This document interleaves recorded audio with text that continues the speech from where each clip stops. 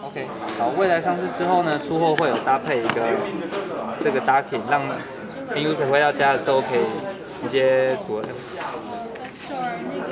组合上去，然后回到家就可以用键盘来使用。可以打开。